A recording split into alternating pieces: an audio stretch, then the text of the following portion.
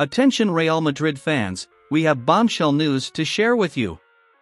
It looks like Marco Asensio's future at the club is in jeopardy and he is not happy with his situation under Ancelotti.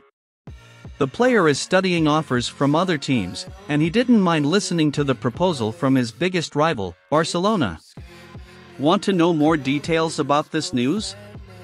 Then be sure to subscribe to the latest Real Madrid news channel and turn on notifications to stay up to date with all the news from your favorite team.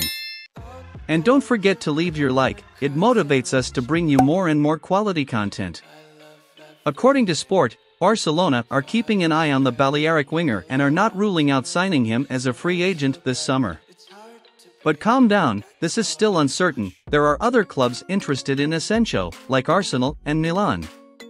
The player lost space in the Real Madrid squad and feels dissatisfied with the little relevance he has in the team.